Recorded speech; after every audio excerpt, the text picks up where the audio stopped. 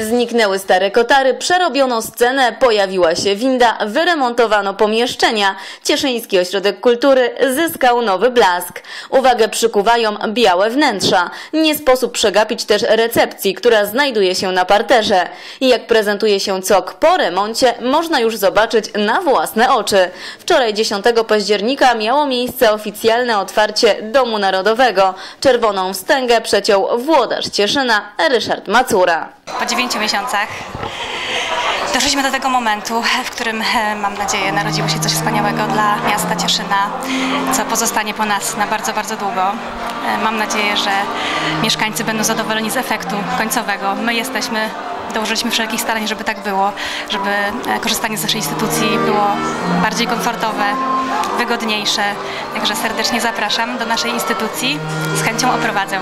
Koszt remontu to ponad 3,5 miliona złotych. Środki pozyskano m.in. z dwóch programów unijnych oraz z budżetu gminy Cieszyn. Były to programy, e, dwa programy unijne, e, mały, duży Interreg e, oraz środki ministerialne.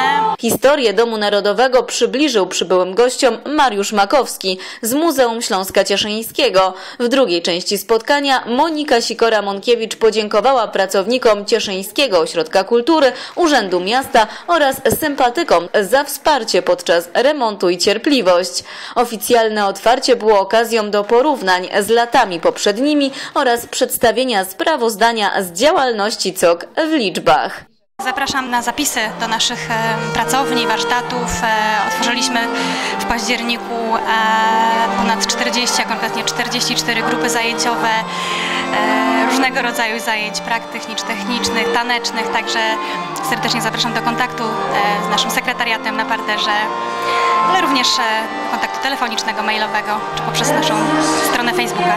Na zakończenie spotkania w odnowionych wnętrzach COK zagrał zespół Lunatyp.